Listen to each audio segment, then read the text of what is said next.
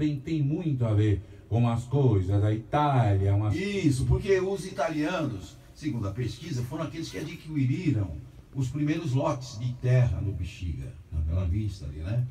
E claro que já vinham os negros, que ali eram, eram um refúgio, de, dizem que eram quilombos de, de negros escravos, né? naquela época ainda havia a infeliz escravatura no Brasil. Um então dos episódios mais tristes se escapava, fugia dos seus senhores e fugiam, ficavam ali no quilombo do Bexiga.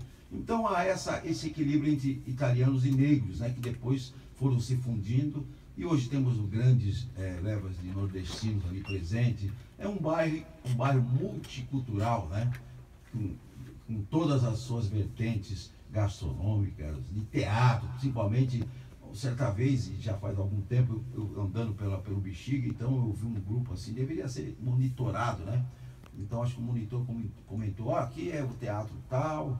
E aliás, esse, esse bairro aqui do Bexiga concentra muito mais teatro do que lá no próprio Rio de Janeiro.